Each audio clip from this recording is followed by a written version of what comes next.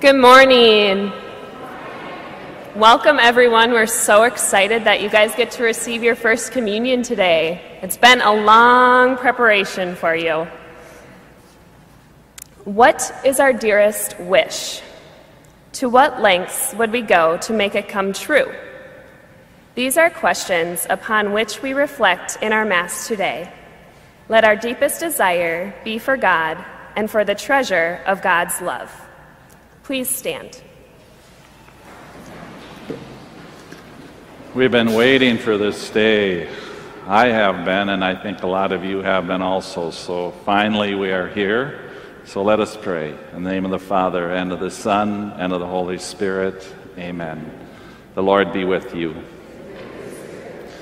As we come together, knowing that God is here with us, let us for a moment remember that we need God in our life and especially to remember God forgives any sins or failings that we have.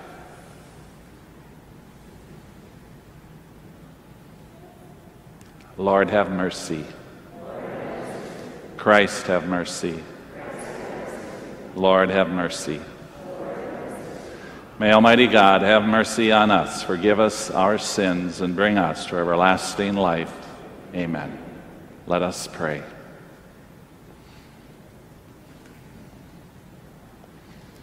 O God, protector of those who hope in you, without whom nothing has firm foundation, nothing is holy. Bestow in abundance your mercy upon us, and grant that with you as our ruler and guide, we may use the good things that pass in such a way as to hold fast, even now, to those that ever endure. We pray this through Christ our Lord. Amen. Please be seated.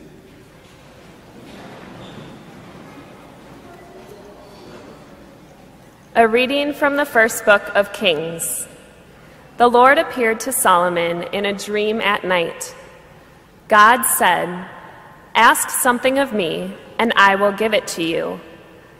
Solomon answered, O Lord my God, you have made me, your servant, king to succeed my father David.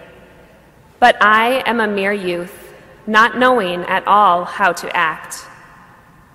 I serve you in the midst of the people whom you have chosen, a people so vast that it cannot be numbered or counted.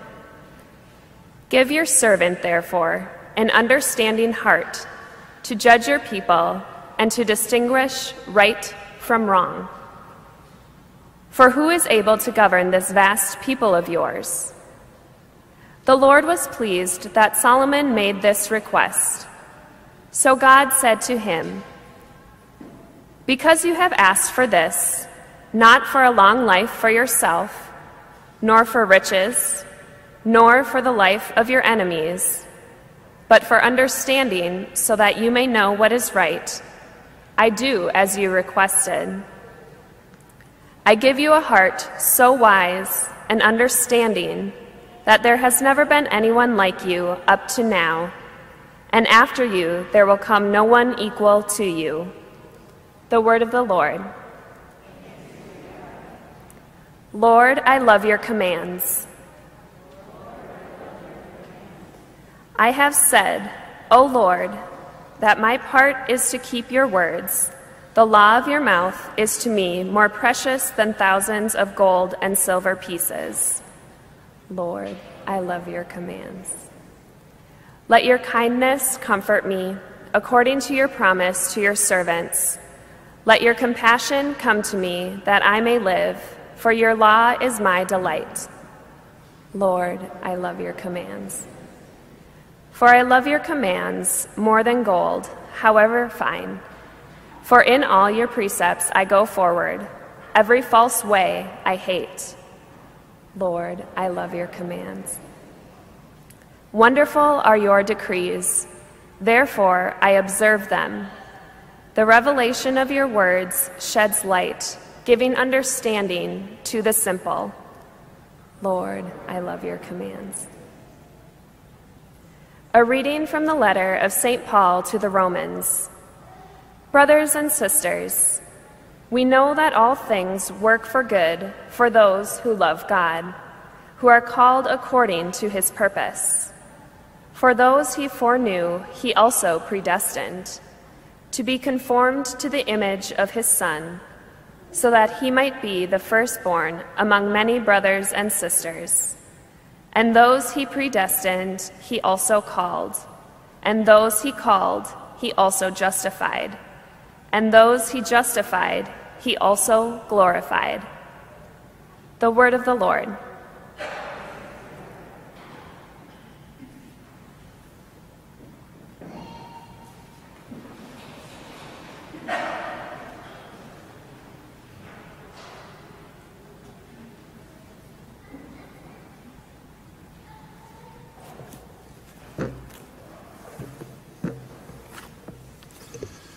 Lord be with you.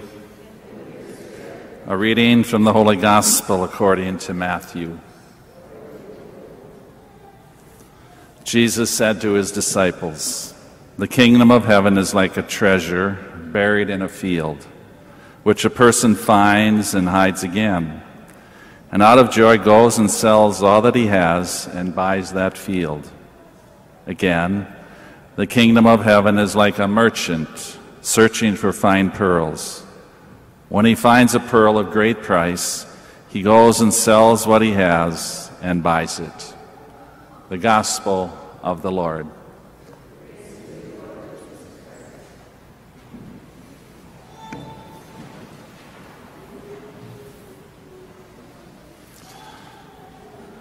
Each of us does have a search and a desire for something deeper in our life, and I like to call it God. And I think what uh, this day maybe proves to us is a couple of things is that sometimes in our search we wait and we long. It doesn't seem to come fast enough. It's kind of happening in our world right now where we have this virus and we are kind of waiting and we are longing for it to be over. Sometimes we want it to be a quick fix, and we wait. And many of you children have been waiting. We were supposed to have communion a couple of months ago, and now here we are at the end of July, and you've been waiting. And there's something about the waiting that's not all bad, sometimes hard to wait, but when we wait, then the anticipation grows, and when the gift comes, it's greater. So, the other thing that I believe is a part of this is that it that search and that desire doesn't end today because uh, you receive Jesus today, but then somehow we have to do it again because we live lives and we go home and do different things and we kind of forget about God. And then we are reminded no, I still need God in my life. And I need to come back again to receive communion or just to pray and whatever.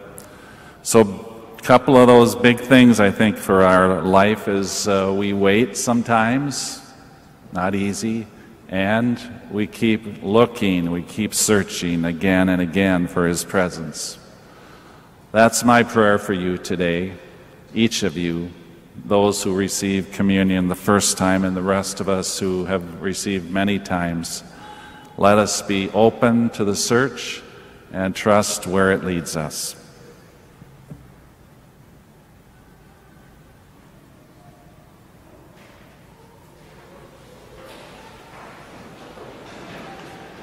We offer our prayers. Well, let me read the, the real beginning here. It's better. Lord speaks to us as he spoke to King Solomon. Ask what you would like me to give you.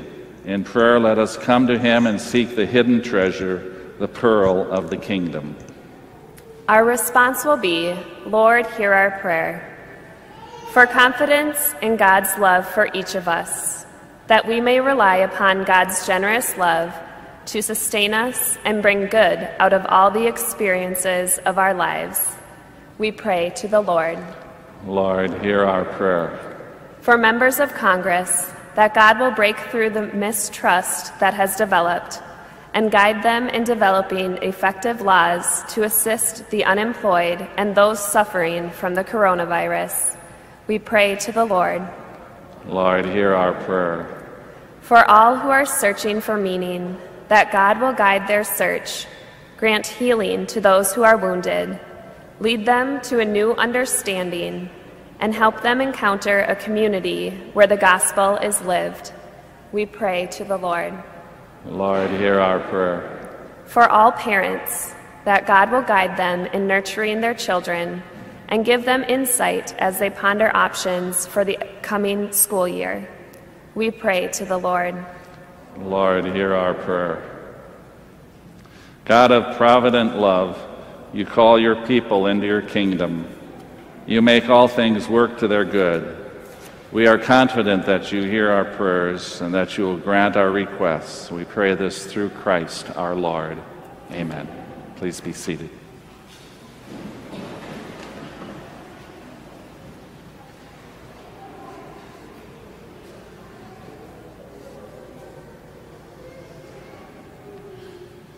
Blessed are you, Lord God of all creation, for through your goodness we have received the bread we offer you. Fruit of the earth and work of human hands, it will become for us the bread of life. Bless you. Blessed are you, Lord God of all creation, for through your goodness we have received the wine we offer you. Fruit of the vine and work of human hands, it will become our spiritual drink.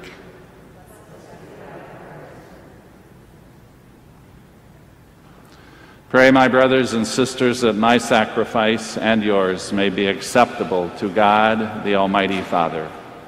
May the Lord accept the sacrifice at your hands for the praise and glory of his name, for our good and the good of all his holy church.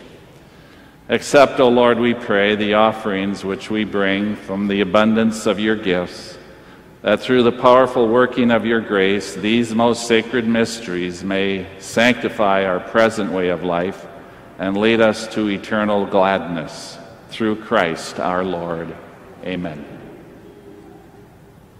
The Lord be with you. Lift up your hearts. Let us give thanks to the Lord our God. It is truly right and just, our duty and our salvation, always and everywhere, to give you thanks, Lord, Holy Father, Almighty and eternal God for in you we live and move and have our being. And while in this body, we not only experience the daily effects of your care, but even now possess the pledge of life eternal. For having received the first fruits of the Spirit through whom you raised up Jesus from the dead, we hope for an everlasting share in the paschal mystery. And so, with all the angels, we praise you as in joyful celebration we acclaim. Holy, holy, holy Lord, God of hosts. Heaven and earth are full of your glory. Hosanna in the highest. Blessed is he who comes in the name of the Lord. Hosanna in the highest.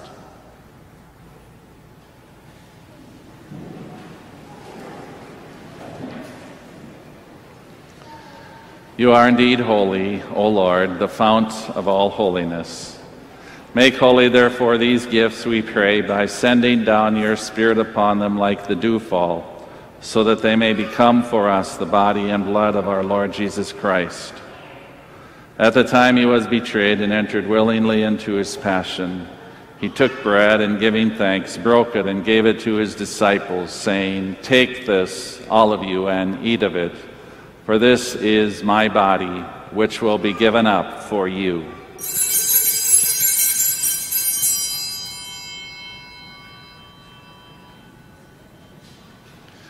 In a similar way, when supper was ended, he took the chalice, and once more giving thanks, he gave it to his disciples, saying, Take this, all of you, and drink from it. For this is the chalice of my blood, the blood of the new and eternal covenant, which will be poured out for you and for many for the forgiveness of sins. Do this in memory of me.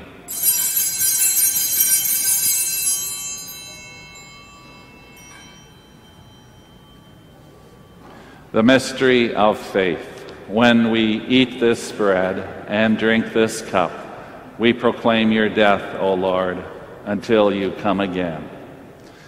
Therefore, as we celebrate the memorial of his death and resurrection, we offer you, Lord, the bread of life and the chalice of salvation, giving thanks that you have held us worthy to be in your presence and minister to you. Humbly we pray that partaking of the body and blood of Christ, we may be gathered into one by the Holy Spirit. Remember, Lord, your church spread throughout the world and bring her to the fullness of charity, together with Francis, our Pope, John, our Bishop, and all the clergy. Remember also our brothers and sisters who have fallen asleep in the hope of the resurrection, and all who have died in your mercy. Welcome them into the light of your face. Have mercy on us all, we pray, that with the Blessed Virgin Mary, Mother of God, with, the blessed, with Blessed Joseph, her spouse, with the blessed apostles and all the saints who have pleased you throughout the ages, we may merit to be co heirs to eternal life and may praise and glorify you through your Son, Jesus Christ. Through him and with him and in him, O God, Almighty Father, in the unity of the Holy Spirit, all glory and honor is yours forever and ever. Amen. Please stand. We pray together as Jesus taught us. Our Father, who art in heaven, hallowed be thy name. Thy kingdom come, thy will be done, on earth as it is in heaven. Give us this day our daily bread, and forgive us our trespasses, as we forgive those who trespass against us. And lead us not into temptation, but deliver us from evil. Deliver us, Lord, we pray, from every evil. Graciously grant peace in our days, that by the help of your mercy we may be always free from sin and safe from all distress as we await the blessed hope and the coming of our Savior, Jesus Christ. For the kingdom, the power, and the glory are yours now and forever.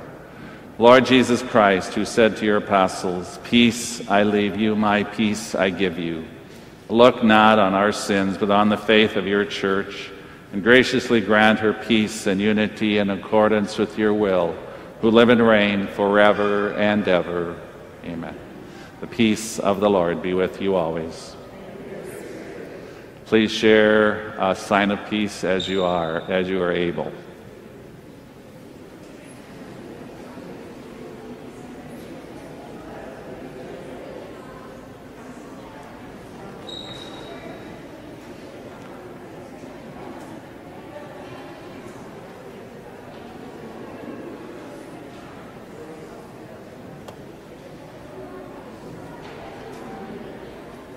Lamb of God, you take away the sins of the world.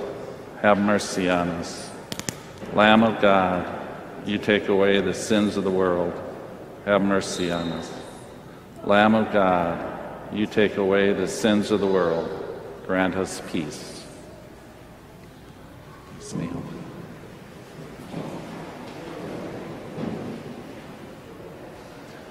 Behold the Lamb of God. Behold him who takes away the sins of the world. Blessed are those who are called to the supper of the Lamb. Lord, I am not worthy that you should enter under my roof, but only say the word, and my soul shall be healed.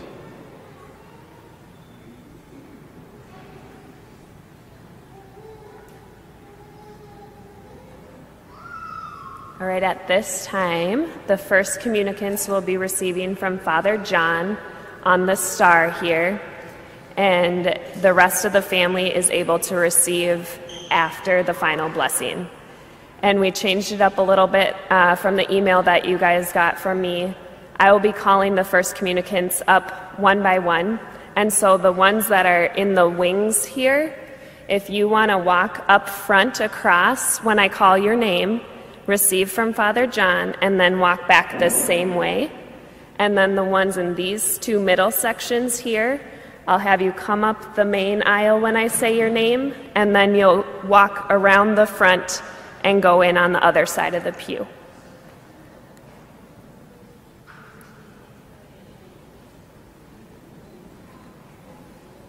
Andrew Giebel.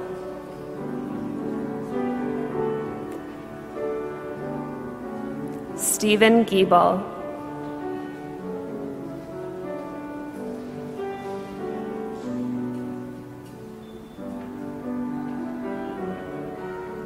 Evelyn Schaefer.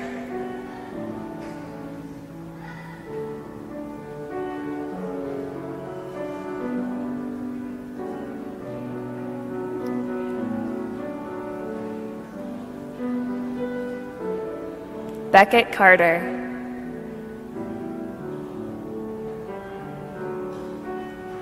Alonzo Reyes.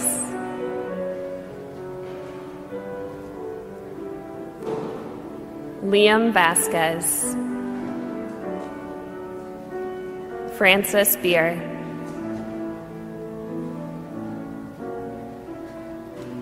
Bryn Dykey.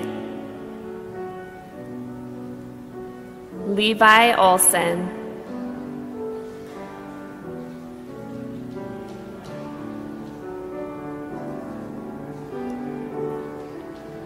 Caden Lamp.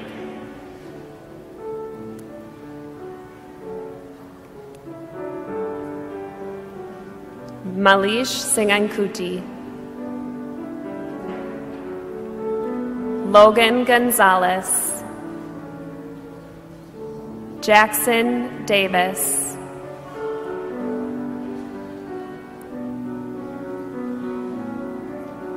Brock Mikiel.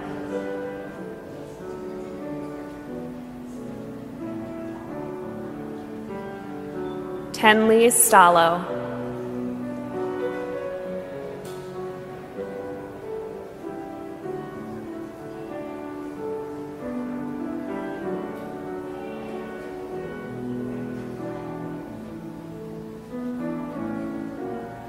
Cole Schweiss.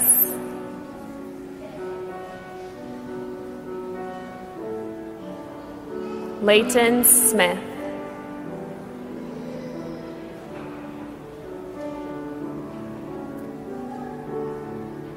Greta Steffel.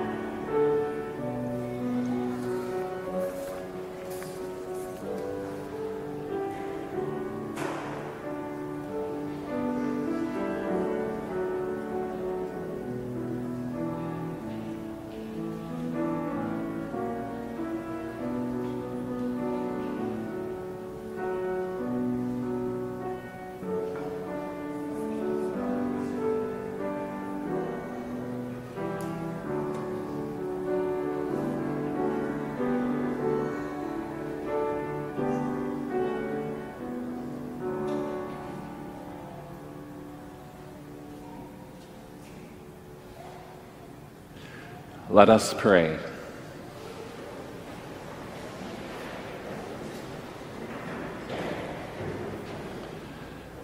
We desire to receive you, O Lord, in this divine sacrament, the perpetual memorial of the passion of your Son.